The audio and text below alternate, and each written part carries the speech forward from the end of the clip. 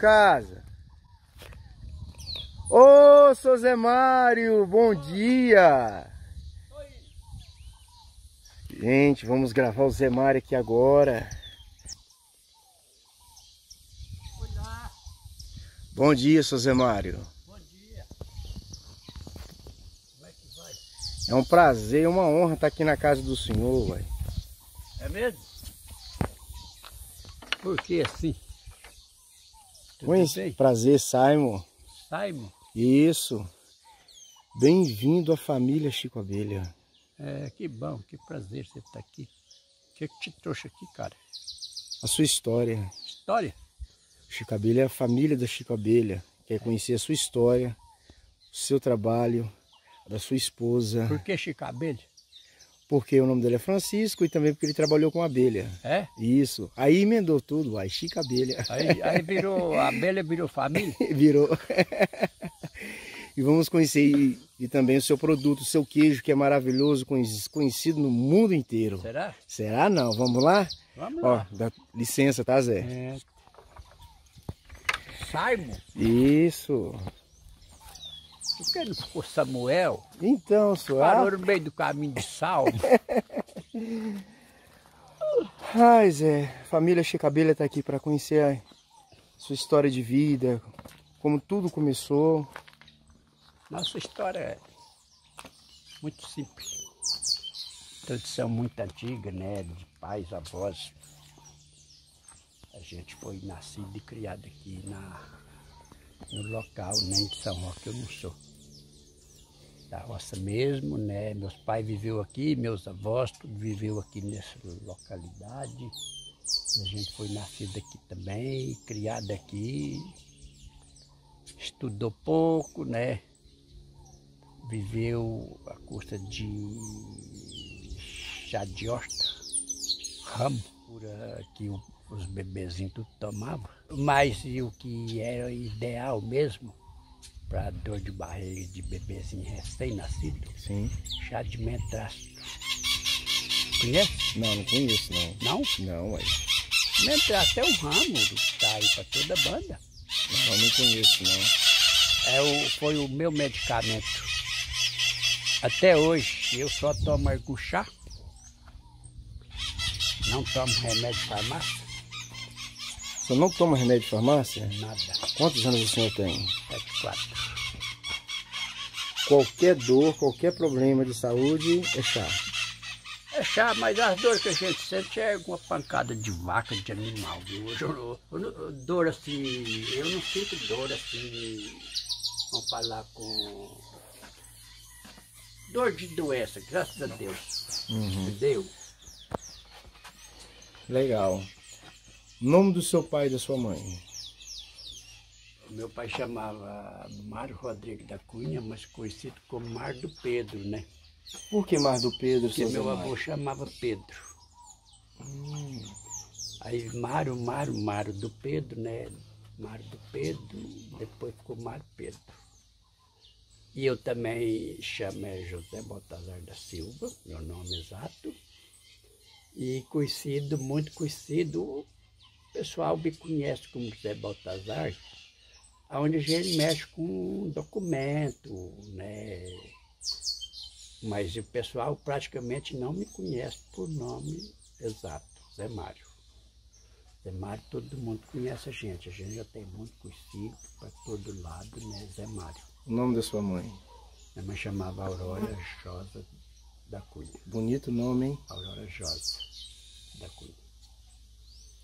O que, que o senhor me fala da criação dos seus pais? Não, a vida deles, coitado, viveu na roça, né? A vida inteira. Tanto meu pai como minha mãe, foi gente da roça.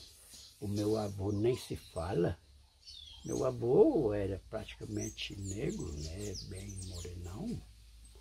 E é aquela pessoa que viveu no mato. Tudo que ele precisava, ele tinha que se virar. E o meu pai também veio na mesma tradição do avô. Mas o meu pai, no, mas no fim, já tinha melhorado um pouquinho do meu avô, né? Já tinha um, mas uma situação muito difícil, foi uma vida assim, pobre. Né? O seu avô trabalhava com o quê? Não, na roça. Tudo serviço aqui da roça, Sim. com as plantações. Mas tinha alguma um trabalho específico na roça? Por exemplo, tem pessoas que trabalham na roça, aí eu produzo mandioca para vender. Não, ele tinha, tinha uma, uma moitinha de cana, de mandioca, mas só para o consumo deles. Naquela época nem comércio não tinha isso, não. No tempo dele, meu pai também era tudo pobre. Então cada um tinha que se virar no seu recinto. Né? Depois já começou a melhorar um pouco, mas o meu pai, por exemplo, nunca possuía um carro. O meu pai não chegou a possuir Na criação, seu pai era um homem firme? Firme. O que falar, tá falado. Ah, era firme. Antigamente o povo era firme. Você vê, quase não existia negócio né, de compra, venda, né? Isso quase não existia. Mas no tempo, no meu tempo, eu já peguei alguma época que já peguei algum dinheiro quando eu comecei a vida, algum dinheiro emprestado com um vizinho aqui, que tinha os pouco mais rico, né? Tinha fazenda, tinha gado, tinha produção de queijo, era pequena, mas tinha, tinha um povo mais folgado, que no meu tempo já tinha dinheiro. Mas o dinheiro era muito valorizado e era pouco. Para me começar aqui, eu peguei muito dinheiro emprestado, a gente fala emprestado, não sei, é tipo de um empréstimo que você faz no banco. A gente pegava com os vizinhos. Tinha quatro aqui que me emprestava dinheiro. Para me começar a vida, comecei com dinheiro dos outros. Em que idade o senhor tinha? Eu tinha 25 anos. Está com 50 anos pegava dinheiro dos outros, ia lá. Você já era casado? Já era casado. No ano que a gente casou, né, que a gente casou, minha mulher, coitada, esposa, família dela também tinha nada. Nada, nada, nada. Então, para me começar a minha vida, foi com os vizinhos que me deu o primeiro ajuda, dinheiro dos outros. Mas também comecei trabalhando, trabalhando dia e noite, eu e a esposa, trabalhando, trabalhando, e começou a melhorar. A gente chegou na posição que até hoje só agradecer. A Deus. E quando eu estou te falando sobre dinheiro emprestado, eu que era novo, né, 25 anos, eu era novo, e pegava dinheiro com esse povo, ninguém exigia documento. Ah, antigamente era assim. Era assim, o povo, o povo, você falava, pronto. Tinha documento não. Ah, legal. Tinha nada de papel, nem, nem no anotar, mas, data não anotava. Mas antigamente a confiança era mais firme. Não, né? era firme, oh, era firme. E todo dinheiro que eu peguei, paguei tudo direitinho. E eu pegava, vezes ia lá, acertava, voltava de novo daqui um tempo posto estava aberto, pregava de novo, deixei por aí que eu comecei. A hora que eu cheguei em uma posição, aí eu já parei de pegar dinheiro emprestado, a hora que eu abri um caminho. Legal. Quantos filhos sua mãe teve? Teve oito filhos. Quem é o mais velho? Eu sou o segundo mais velho. O outro se faz presente entre nós ou não? Não, o que ficou na roça dos meus irmãos foi só eu. Ninguém quis roça. Uhum. Ficou só eu. E eles lá criticavam a gente, né? Que eu era. Eu fiquei morando na roça, como que dos meus irmãos que ficou na roça foi só eu. Os outros não quis, foi cada um cuidar da sua vida, né? Foi para cidade, é, trabalhou de motorista, né? Outro trabalhou, vários deles foi motorista. Um até abriu um comércio em São Roque, estava vivendo bem. Legal. Né?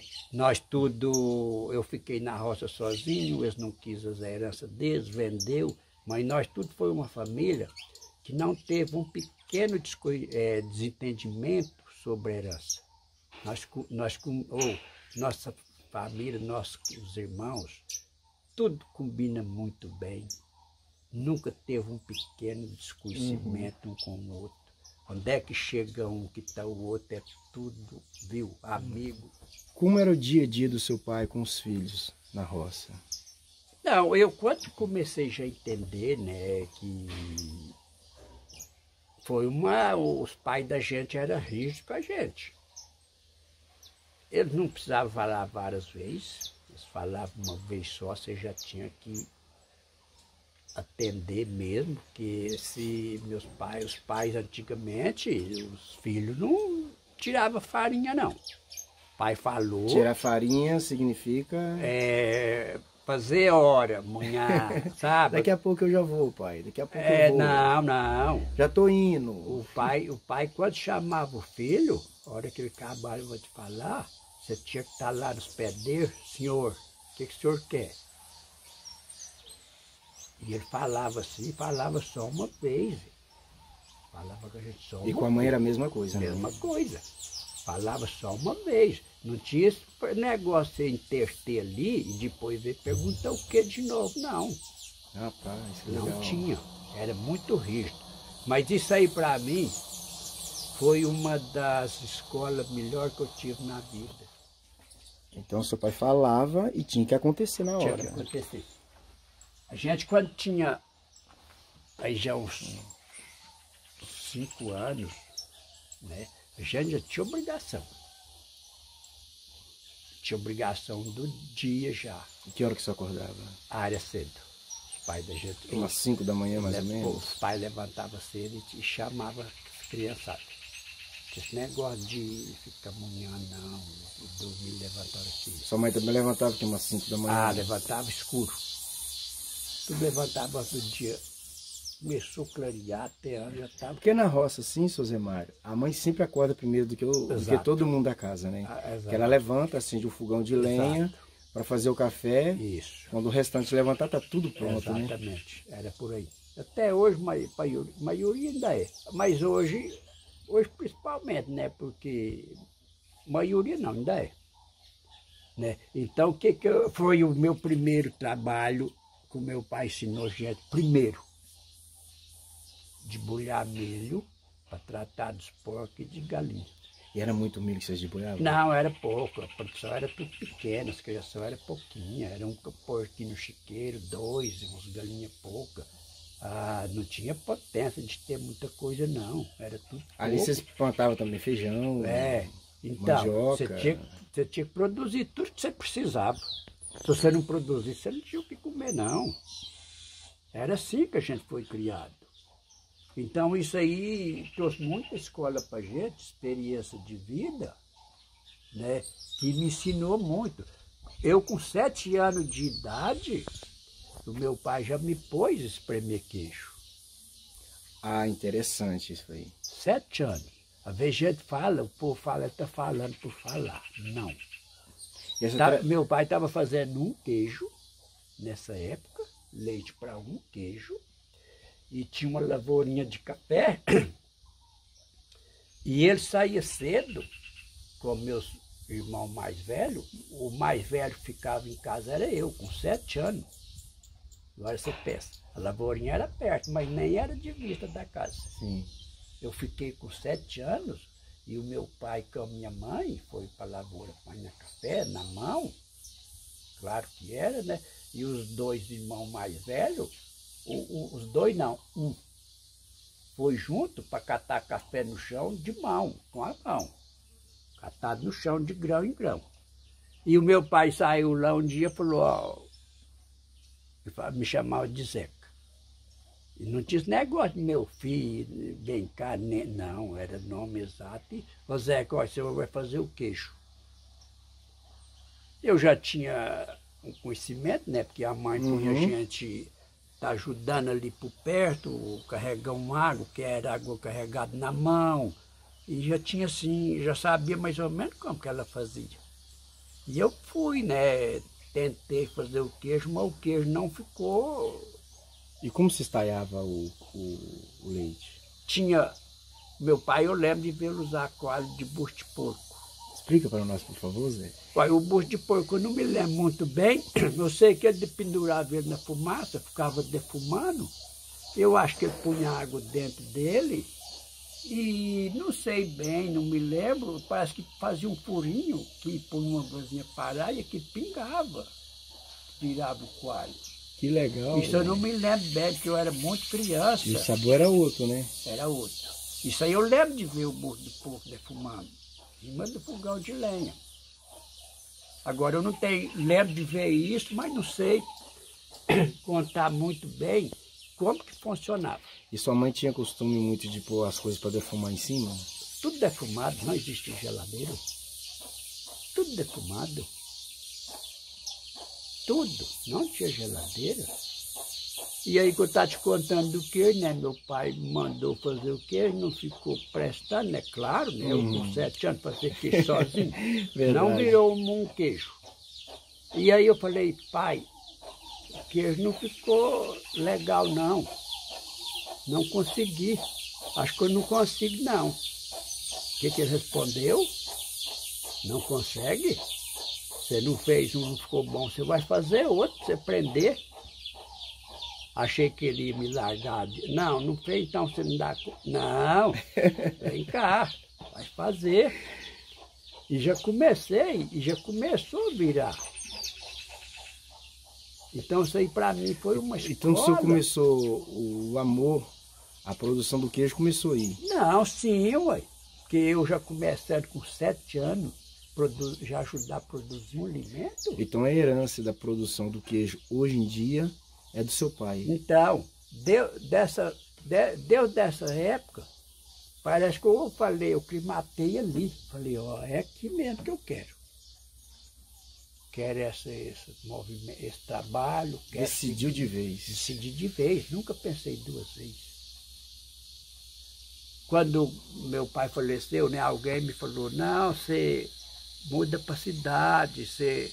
eu já, já tinha assim, uma experiência de serviço de pedreiro, entende? Sim. Tinha facilidade para aprender trabalho de pedreiro. Até hoje eu faço alguma coisa. Não fica coisa fina, mas sei trabalhar um pouco. Você vira. De pedreiro, de madeira, tudo que você vê aqui, a gente é construiu. A gente mesmo. A gente não pagou mão de obra para nada. Tanto faz de pedreiro como de carpinteiro. Então, isso aí me entusiasmou, falei, eu quero é isso, eu não quero outra vida.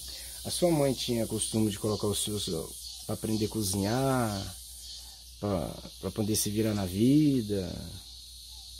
Sobre cozinhar? Isso. Que começou, meus pais plantavam eh, depois com tempo para frente, que a gente apanhou em 10, 12 anos, meu pai já começou a plantar umas lavouras mais longe e tinha que levar os alimentos cru e fazer lá na roça, um, num ranchinho de capim, umas fornalhas de duas estaquinhas, por uma travessinha, panelinha pendurada. Com 12 anos, meu pai já falou, vai fazer comida. 12 anos. Ah, então, entre o seu pai e sua mãe, o pai que pegava mais no pé, no aprendizado. Não, sim, porque a gente, como era coisa moda homem, a gente ficava atrás dele, né? A gente ficava atrás dele. Então, isso aí tudo, eu aprendi a fazer comida, eu tinha 12 anos quando eu fiz a primeira comida. Na hora que tinha arroz com feijão, estava excelente quando tinha quando tinha. Plantava abóbora lá no meio da roça, você ia lá, aqueles laços de abóbora lá no meio da roça, você ia lá com o olho até vidado, ver se achava uma abobrinha para colocar no meio do arroz, sabe? Rapaz. Era. E era feliz, né? E era feliz, né? era sofrido e a gente tem saudade desse tempo. E como amadurece, né? A tem gente, saudade. né? O sentimento da gente. Tem saudade. E agora outra coisa, eu em vista dos meus pais, eu cresci muito em vista sobre a situação de posição de vida, né, situação financeira. Uhum. Cresci assim um pouquinho, mas até hoje é pouco. E eu, eu guardo por mim, por ele, como meu, o meu pai foi muito pobre, meu, meus avós foi muito pobre, eu falei, eu não quero ficar rico. Eu quero respeitar meus pais, meus avós até hoje. Eu já, já melhorei demais minha vida depois, antes do, do viver desse. Para que, que eu vou explodir, querer muita coisa, uma coisa mais, outra coisa mais? Não. Eu tenho, eu tenho muita saudade, tinha muita vontade. Penso muito quando se o meu pai tivesse o poder de ver o que, que onde ele morava, como é que ele viveu, o que, que já está hoje. E quem é o Zé Mário hoje? É, pela educação, né? O respeito, então, tudo que você adquiriu. Tudo, tudo que eu tenho e cheguei onde cheguei, né, que graças a Deus tenho muito conhecimento, sou muito considerado no São Roque, todo mundo me respeita muito, me considera muito. Mas... E tudo foi escola que veio do meu pai, meu pai e minha mãe. Tudo. Porque o meu pai também, na região, ele era uma pessoa muito respeitada.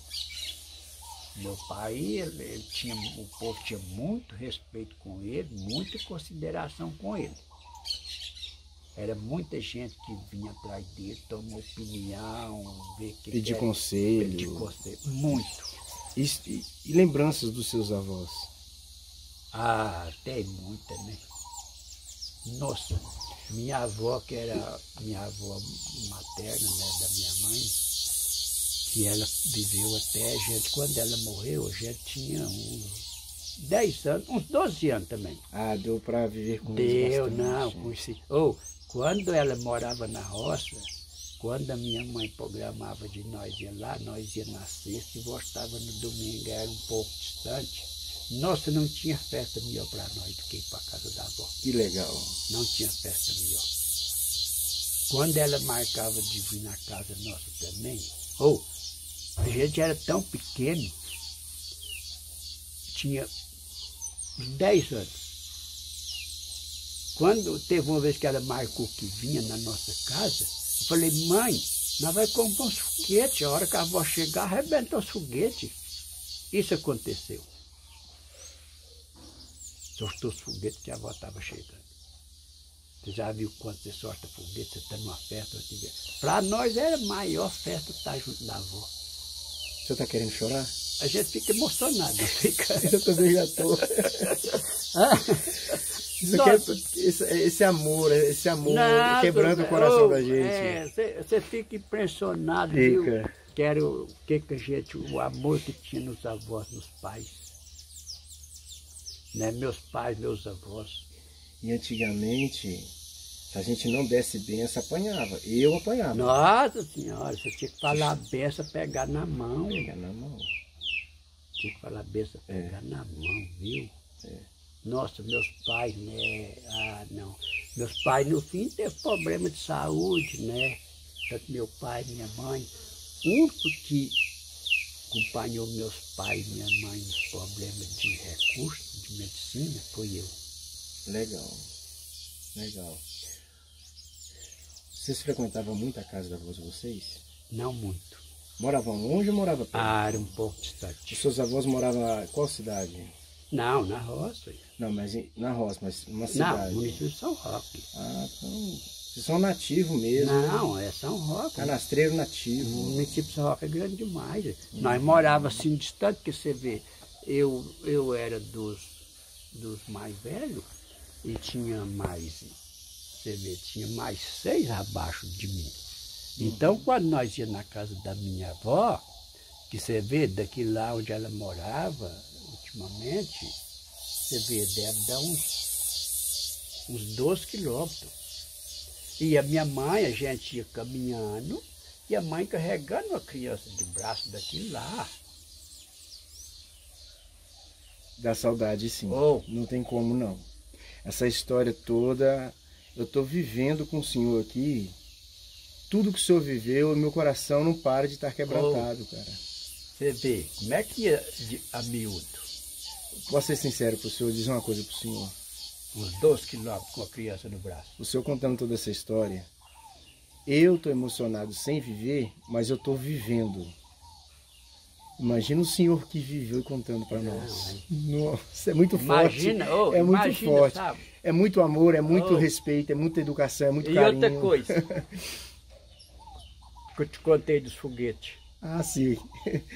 Quando nós chegávamos na casa da avó, ela pegava uma lata e uma vara e batia na lata representando o foguete. que alegria, gracinha! De alegria. Que gracinha, sua Na hora de nós sair de lá para vir embora, com dois dias depois, ah, era tudo Oh, meu Deus, que gracinha, sua avó. Hã? Que gracinha, sua avó. Ah, Vamos lá? Você vai tomar aquele pouquinho de café? Não. Vou passar uma água de hoje. Fica melhor. Agora a gente vê hoje. Zé, a sua esposa tá fazendo. Terminou de fazer queijo, né? Terminou. Vou lá pedir ela para mostrar os queijos para a família aqui, posso? Xinga aí, ó. É, chega aqui essa janelinha aqui, abre de lá não. Mas se quiser ela. Ela te apresenta aí. Valdete, bom dia. Eu sei que eu não posso entrar, vou ficar daqui de fora mesmo, né? Da porta para fora. E prazer te conhecer. Eu não posso pegar na sua mão, né? Pode, que eu já terminei. Já terminou? Prazer. Simon, seja bem-vindo à família Chinca Abelha. É, fala um pouquinho da sua produção do queijo, por favor, tem como? Olha, a gente, a gente já é casado há, cinco, vai fazer 50 anos, nós nunca fez grande quantidade, é de 10 peças para baixo. A gente está fazendo agora 7 peças, mas a gente faz com todo capricho, higiene, e, e, você tem que fazer o queijo com amor e carinho para ele ficar gostoso. Se você fazer nervosa, enfesada, ele não fica, sabe? Tem essa também, de tem, sentimento? Tem. Você tem que fazer com todo amor e carinho, falando assim, esse, esse alimento vai ser um alimento que vai sustentar muita família, vai fazer muita coisa gostosa, né? Que é do queijo você faz só coisa gostosa. É, é bolo, é pão de queijo. Você põe numa macarronada, você põe em qualquer lugar. É, é delicioso o queijo. Tá. Aí o processo do queijo do vocês aqui, que é conhecido mundialmente, né? E depois de, de, se amassar ele tudo bonitinho, aí você pega esse sal grosso e coloca por cima. É um é, sal grosso especial é, ou qualquer sal grosso? Eu não salgo muito, ele salga só o necessário, sabe? Tem que ser o sal grosso. Se você põe um sal, faz, põe na comida, ele fica até mais grande, salgado. Hum. Acredita? Que legal. E esse não salga muito. Você põe aí logo o vinho, põe do lado de baixo, e ele salga um tempero leve, não salga muito. O aprendizado do seu queijo veio do Zé Mário ou veio dos seus pais? Aí veio das duas partes, das né? Duas Porque partes. eu cuido da casinha eles do gado. Do gado eu não, não ó, tomo frente, né? Eles aqui, ó. Então eu que faço queijo, se eu ver que o queijo tem um probleminha, eu falo com eles, falo, ó, pode fazer a análise, seu queijo não tá legal. Então, aqui dentro eu mando e lá de fora eles é que mandam. Então o queijo tem um aprendizado tanto da parte dos seus pais, é. como também da parte do Zé Mário, né? É. Legal. Tem como a senhora mostrar pra gente, eu vou do outro lado da janela, aqui os queijos que já estão maturados? Vamos Sim. lá? Vamos lá. Do aqui, lado de... aqui a gente tem duas são, uma que fabrica e essa fala maturar, amarelar. Né? Sim.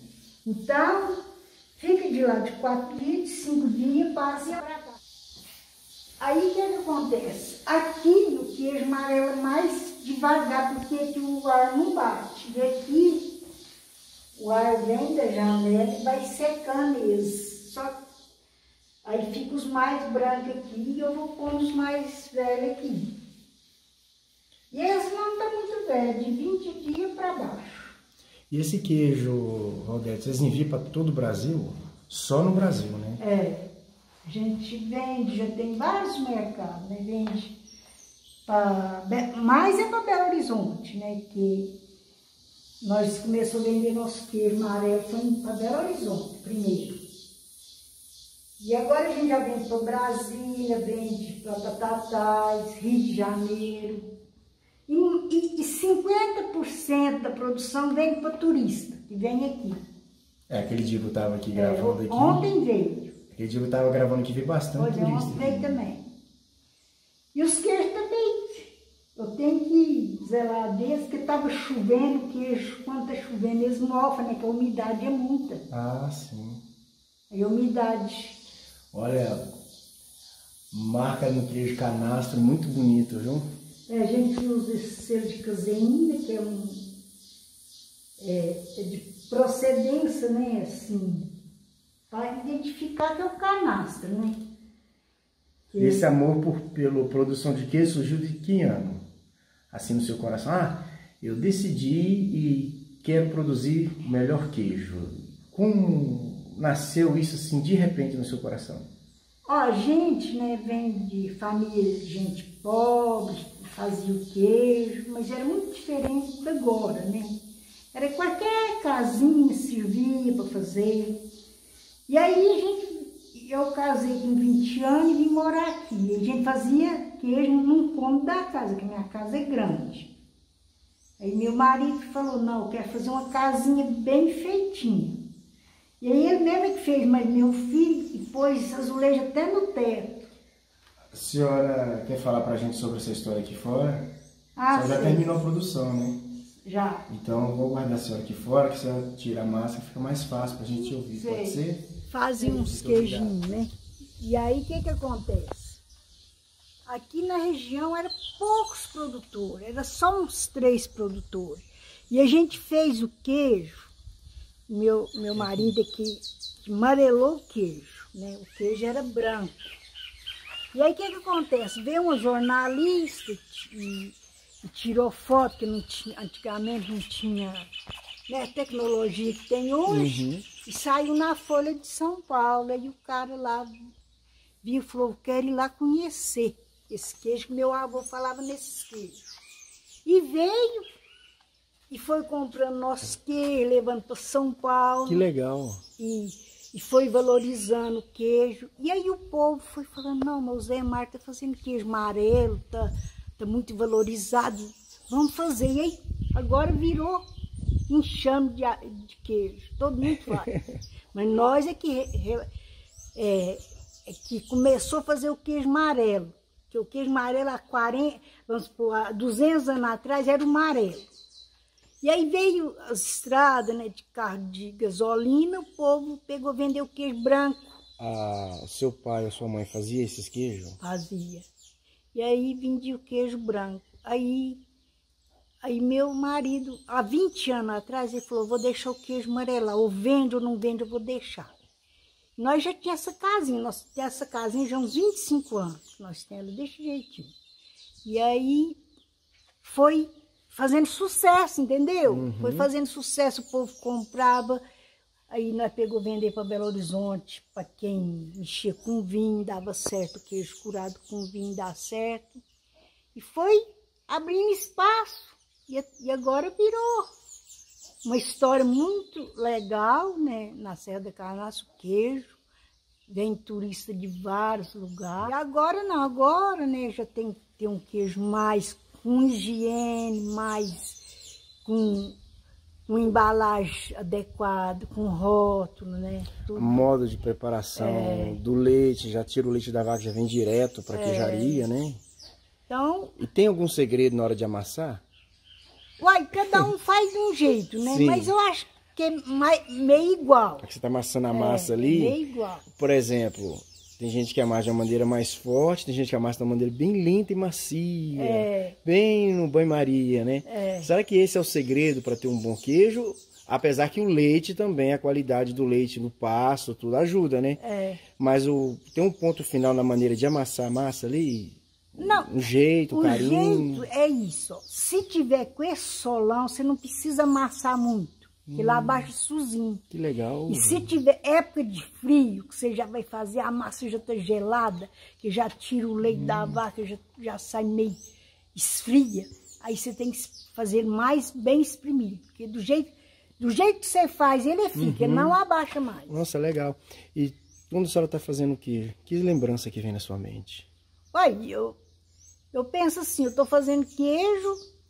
Lembranças da sua vida vivida quando você pois era é, criança, é, eu, quando você viveu com seus pais, o que que te lembra que, que te deixa mais feliz na hora que você está fazendo ali? Você tem muitas lembranças assim dos seus pais? Tem, tem lembrança que eu fiquei junto com meu pai, mas e minha mãe, até 13 anos de idade. Depois eu queria ganhar meu próprio dinheiro. Que legal. E aí fui trabalhar noutra fazenda, fazendo queijo também. E lá, lá a gente fazia muito queijo, desnatava o soro para ter a, a, manteiga do soro. Aí nós vendeu a desnatadeira. Mas lá onde eu trabalhava, tinha que desnatar o soro para fazer a manteiga. E, e a manteiga também é uma coisa muito legal, né? Tudo que você vai fazer com uma manteiga de leite fica gostoso, né? A senhora já fez requeijão, dona Valdete? Já fiz só para aprender, mas não, não faço assim. Gostou? É legal. Requeijão é bom demais, né? É. A sua mãe tinha costume de fazer doces, rapadura, ou seu pai rapadura? Fazia. Oh, eu, quando eu era criança, Sim. meu pai... Que, eh, nós somos muitos irmãos, eu sou das mais novas, né? Então, meu pai tinha gente dormir num paiol para moer, moer cana, que tem que começar de madrugada. Fazia muita rapadura. E não era tão longe, não, era, era que bem pertinho. Fazia para vender, né?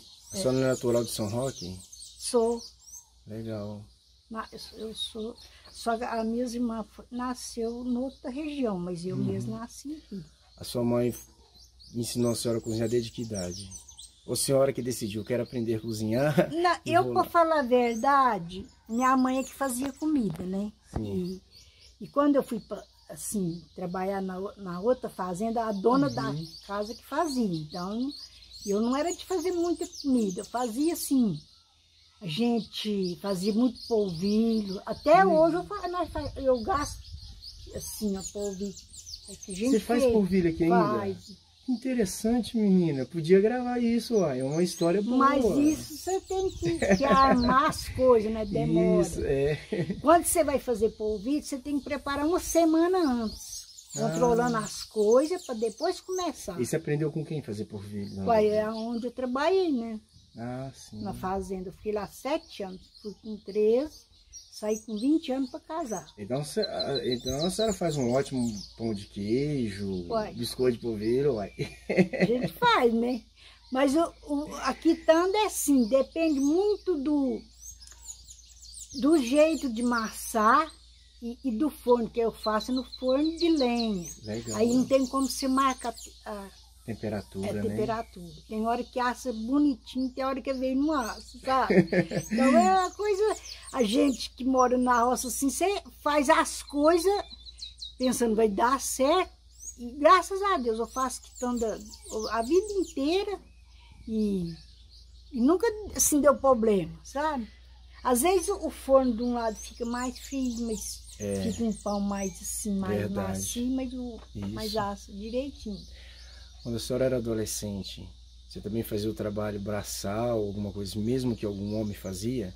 Ah, tem que capinar ali, ah, tem que Não. plantar milho, ah, a, tem gente, que plantar mandioca. Para falar a verdade, a gente fazia de tudo, pensar, sabe? Porque antigamente as mulheres faziam o mesmo é... trabalho de roça que os homens. O meu pai era de família de gente pobre, a gente trabalhou numa fazenda, e meu pai era muito trabalhador. Ele plantava arroz por gasto tinha que as baixadinhas, ele estocava as baixadinhas Sim. e plantava assim, de cobre e punha eu, mas as minhas irmãs ajudar. Meu pai, para falar a verdade, ele faleceu, ele deixou arroz para nós comer três anos para frente. Três anos nós comeu arroz que ele deixou para nós comer. Nossa. É. Tem muita lembrança boa do seu é, pai, né? Você é muito, muito era muito apegado ao seu pai, né? Muito, sim gostava muito da gente, a gente frequentou escola em São Roque, então chegava dia de sexta-feira e falava assim, Maria, minha mãe chamava Maria. Uhum. Maria, faz bisquitanda, que as meninas vão chegar amanhã. Aí nós, ela fazia, nós levava para São Roque, a gente ficava num, numa, numa varandinha de, um, de, uma casa lá, não era casa própria não. Mas foi muito legal. Que legal. Ô Zé, toda vez que vier alguém aqui visitar vocês, tem queijo na mesa? Eita, Zé Mário, que lindo, viu? Eu, eu, no meu paladar, Sim. quanto mais fininho você picar a talha dele, Uhum. eu sinto ele mais saboroso. Deixa eu mostrar pro pessoal. Ele bem fininho. O sabor dele eu acho fica mais acentuado do que se você picar uma, uma lasca mais grossa. Entendeu? Às vezes é impressão minha, mas eu, eu tenho um, assim, um, vou falar, um faro, um paladar muito vivo, viu? Eu, como não tenho, não bebo nada gelado, eles falam que se você beber gelado, tira o seu paladar. Você já ouviu falar isso? Aprendendo agora com o senhor. Hã? Aprendendo Eles agora. falam que quem toma muito gelado perde o paladar um pouco. Agora a gente vai ter a apresentação do queijo canastro do Zé Mário. Ô Zé, o seu queijo é bem conhecido no Brasil já, né? É bastante conhecido. Já é muito dele, Isso. né? Agora o povo fala, o povo brinca muito comigo, fala, Zé Mário leva a fama e a queijo da Valdete. eu, eu não fico contra não, porque a gente faz queijo algum dia, faço, que faço bem, mas que produz na produção de queijo da casinha, ela é quase 100% é ela. Legal. Ela não deixa a gente lá. Se você chegar lá, ela corre com a gente. Eu Aí eu, aí eu nem vou, né? Como é que é, Eu Valdete? tenho ciúme dos queijos. Eu que arrumo pro mercado, não deixo eles arrumar, eu Que legal. Ela tem um na cabeça dela que o serviço dela é mais bem feito, não sei se é ou se é impressão dela, sabe? Ela fala que eu fico calado, né? Porque como é que você vai entrar em detalhe com. Eu tenho que aceitar, né? Gente, o Zé Mário já gravou pro Globo Repórter, já gravou pro Globo Rural, Valdete. Então, essa produção do queijo do Zé Mário é uma produção muito famosa. É, Valdete, apresenta para nós os queijos, por favor. Ó, esse queijo aqui tem 20 dias, já é um queijo que já sai pro mercado, tá amarelinho, tá vendo? Já manda embaladinho, tá escrito. Lindo, viu? O aroma aqui é muito bom. E esse aqui já é um queijo mais novo, esse aqui já tem só uns 15 dias, ó, ainda tá meio esbranqueadinho.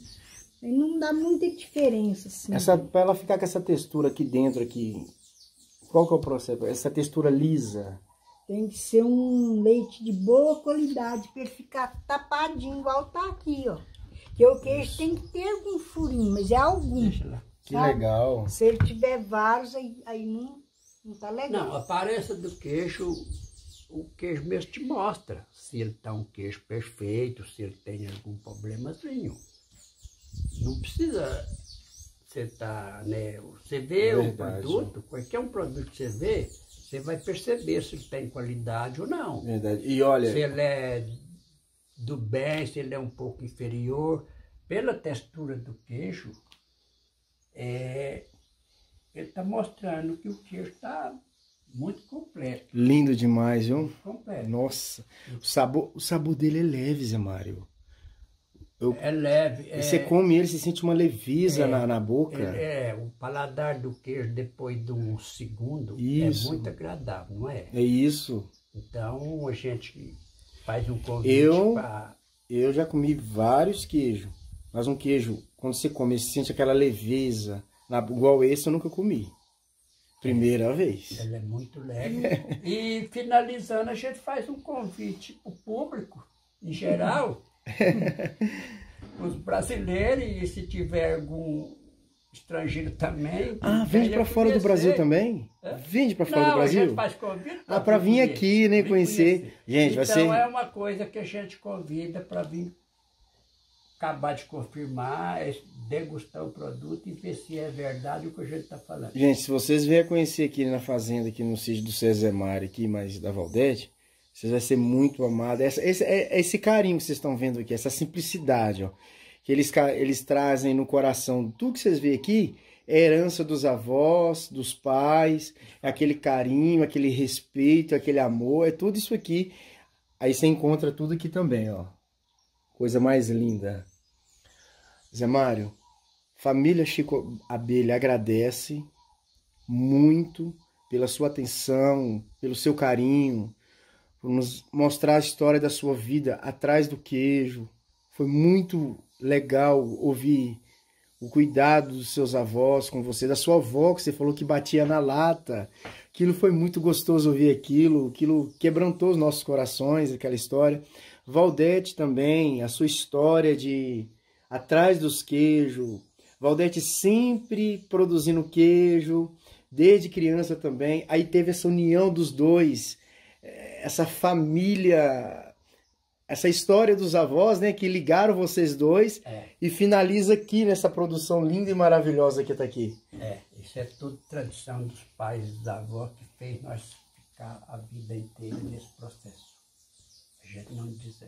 Eu sinto muito orgulho de morar na zona rural e fabricar um queijo que vai para as mesas do, dos brasileiros e que vários consumidores. É, todos, qualquer coisa que você fizer e pôr o queijo canastra, fica delicioso. É um convite que eu faço para todo mundo que está vendo. E compra nosso queijo canastra, e não digo nosso, de vários produtores, que é um queijo delicioso que cabe em qualquer coisa que a gente vai fazer, uma macarronada, qualquer coisa. Qualquer receita, uai, o é, queijo do seis é bem-vindo. Pão de queijo, bolo, né? Isso. Zé Mário, Valdete, mais uma vez agradecemos pela oportunidade de estar a família Chico Abelha entrar dentro da casa de vocês e conhecer essa história. Mais um pouquinho da história. A gente faz um convite para visitar a gente, mas em geral, a gente que é produtor, são todos amigos uns dos outros, a gente faz um convite para qualquer população que vem receber na região, visitar não só a gente, todos os parceiros aí que a gente trabalha junto, um convite para visitar várias fazendas, Legal. vários produtores, cada um trabalha de uma maneira semelhante, mas tem alguma diferença. Somos todos família. Então o sabor do queijo de cada fazenda de uma para outra, ele é diferente. Então quem vai fazer uma visita Peço que vem com tempo, não vem com correria, o povo da cidade vem muito com correria. Lá Isso. Vem com tempo e visitar várias fazendas que Legal. a gente é parceiro de todo mundo. Parabéns pela simplicidade. Ó, gente, obrigado e até o próximo vídeo, se nosso Deus nos permitir, né, Zé? Se Deus quiser, a gente está junto de um, ab... um abraço, família tchau, Chico Abelha. Tchau, tchau. É uma pancada, é outra. E também tem um Aqui é um arame que passou. Queima de um lado, arranca um pedaço do outro e aí vai.